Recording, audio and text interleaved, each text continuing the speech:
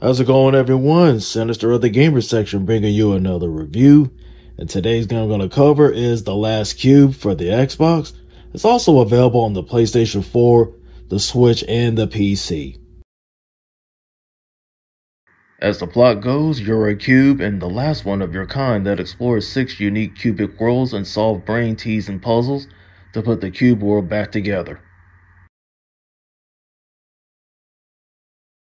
When it comes to the visuals, it has like a last gen look to it, which is not bad, but not very great either. Even though there are different environments which look good in some areas, better than others. The music, on the other hand, has a techno feel to it, which fits the game nicely. The tutorials come in handy while instead of hitting the pause button to look them up. The lowers menu display everything from sticker abilities to the different cube areas.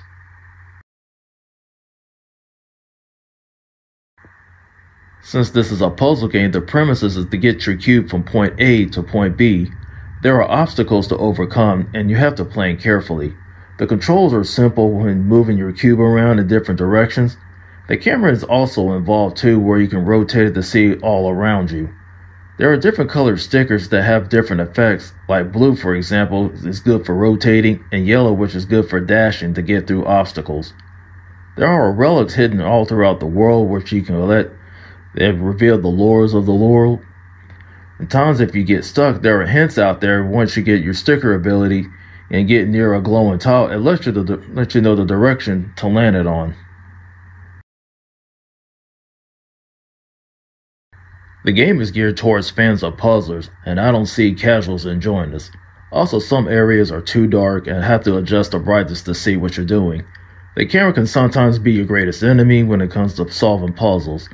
Finally, the cutscenes look grainy for some reason, which is not a good thing. I don't know if that's the look that they're going for, but other than that, it's just not a good look. I give The Last Cube a 2 out of 5. For the latest news and review, be sure to hit subscribe and follow us at the Gamer section.